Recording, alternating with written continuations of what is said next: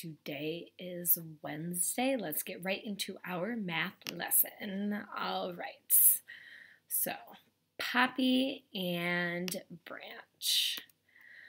Oh, Poppy and Branch, they were trying to save some trolls. They had 17 trolls to save. And Branch was like, How are we going to save 17 trolls, Poppy? And Poppy was like, Aha! I have it. Number bonds. And Branch was like, Number bonds? Poppy was like, Yeah, don't you remember? Number bonds help us make and break apart numbers. We've got 17 trolls we're trying to save, so that is our whole, that's our big number that we're trying to break apart. So, she's like, 17 is our whole, and that's when Branch was like, Poppy, I have it. He was like, oh, and one of our parts can be 10 because 10 helps us make and break apart numbers more easily.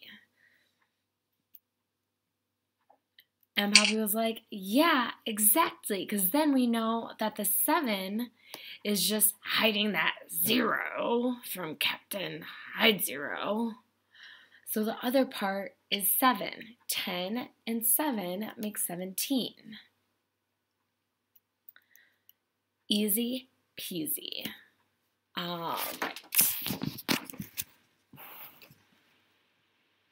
Let's take a quick look at that, Kipsters.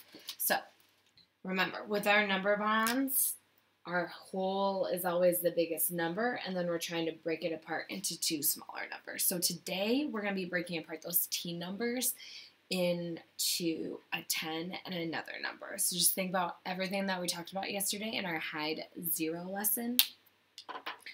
So let's say our number is 18. I really know that that 8 is hiding a 0 from what we talked about yesterday, and so the one of the parts is going to be 10. Oh my goodness, I do this every time. E, e, e. 18, so it's not backwards for you. We'll just move this one over here. And 10. So, got 18 and 10. And so then I know that the 8 is my group of ones that's high in the 0 and the 10. So my other part is 8. Now, when we have our individual practice making the number bonds, it'll be a little bit clearer for you to see. This is the more challenging part. But remember, our whole is always the biggest number, and we're breaking apart into the two smaller numbers. And an easy trick to remember today is one of the parts is always going to be 10. All right. So today we're going to practice modeling and writing numbers 10 through 20 using number bonds. So there's two different ways that we're going to do this. So we're either going to be shown a hide zero card, so the 10 and the 2, and when I have a hide zero card, first I'm going to hide the 0, so slide that 2 to cover the 0, and that gives me the number 12. Then I'm going to go back and I'm going to think about, oh, one of my parts was 10 and then the other part was 2 and fill in my parts in the number bond. Because 10 and 10 and 2 are the two parts I put together to make 12. Or they're going to show us five group cards. So when I see a five group card all filled up like this, I automatically know that's 10.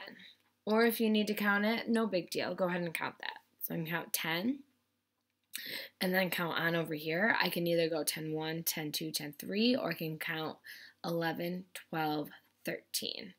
And so when I count them all together, I know that's going to be my whole, my biggest number. And then I'm going to go back over here, and I know my first five group card, that gives me 10 as my first part. And then my second one had three in it, and so three is my second part. I also know that that three is hiding the zero up here. Awesome. Okay. Here's our challenge. You're going to look now at these five group cards and you're going to go ahead and write your number bond and then come back and check it against ours and see if you got it. Let's save some trolls.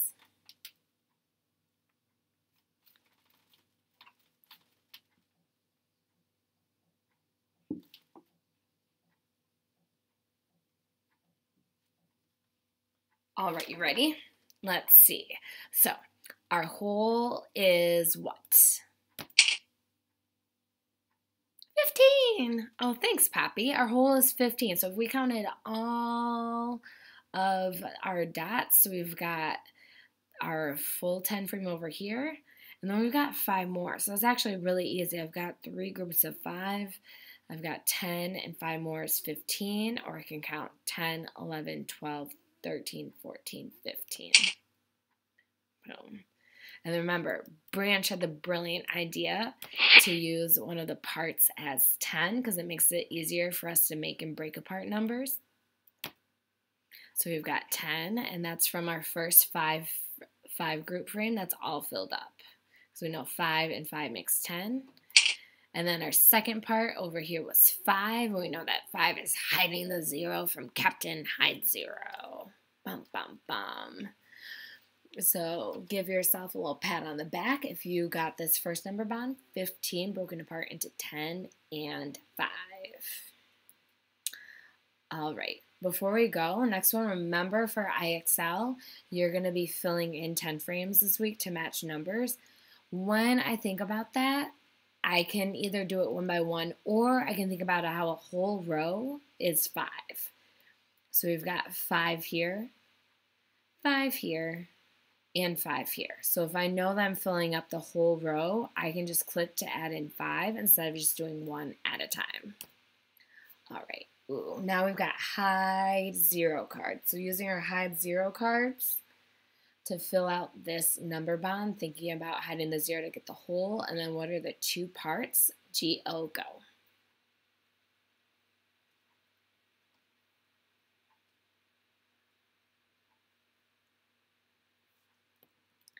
All right, awesome. If you need another second to make the number bond, just pause the video. We're to get going. So we know that we're hiding that 0 to make the whole. So the 6 is to cover the 0, and it's going to give us 16. All right, and then as Branch told us, the part has to be 10. It's 10 right here. That's definitely a part. And then the heart that's hiding the zero is our six. Hide the zero, mateys. Don't forget it. So our other part was six. So give me your R. We are the best if you matched this number bond. All right, next one. This one's a little little more challenging. I threw it in there to see if I could trick any of you.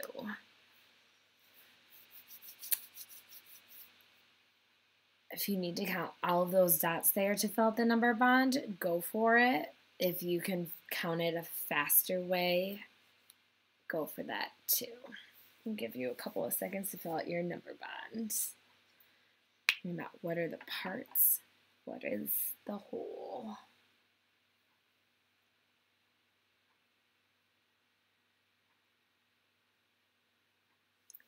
All right, if you're still working on it, pause the video and start back up when you're ready. Let's think about that whole. So, when I have the whole, I have to count everything. So I can count 1, 2, 3, 4, 5, 6, 7, 8, 9, 10, 11, 12, 13, 14, 15, 16, 17, 18, 19, 20. I can do that or I can look at this and say, this five group card is full, so that's 10. This five group card is full, so that's 10. And so I know that if I have two tens, that that is 20. So our whole is 20, no matter which way you chose to count to get there. And so now breaking apart 20, we know for sure that one group is 10. But this is where it gets really tricky because there's a zero here and this has a two.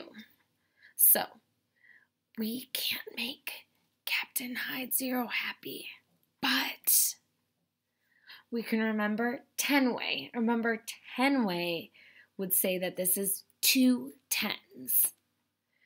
So our other part is 10. So we've got 110 here and 110 here. So 20, I take out 110 and then I take out the other 10. So I've got 10 and 10 makes 20.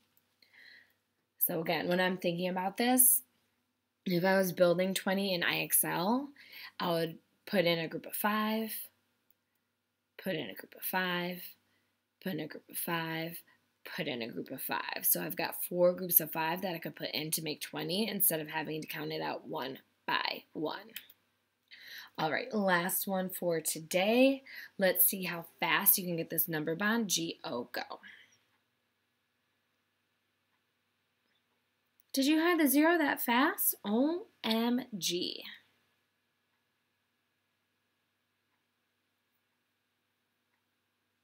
All right, let's take a look. This should have been super speedy since we've done this several times already. Let's see. When I have 10 and 9 and I'm hiding the 0, that gives us what? 19! You got it! Woohoo! All right. Easy peasy. And then we know our part is what? 10. You got it. 10 for branch. And then our last part, the part that is hiding that 0 in the of the 10 and 19 is the 9. Hide that 0 from me or you'll walk the plank. Boom. So 19, broke it apart. Our parts are 10 and 9. So, so easy. Kipsters Branch and Poppy want to remind you that when you are breaking apart a bigger number, it is the easiest thing to do if you are pulling out a 10 and thinking about what number is hiding that zero for the ones. All right, Kipsters, you did a fabulous job today. I can't wait to see how well you're doing on IXL building those numbers on the 10 frames and the 5 group cards. And we will see you again tomorrow. Take care.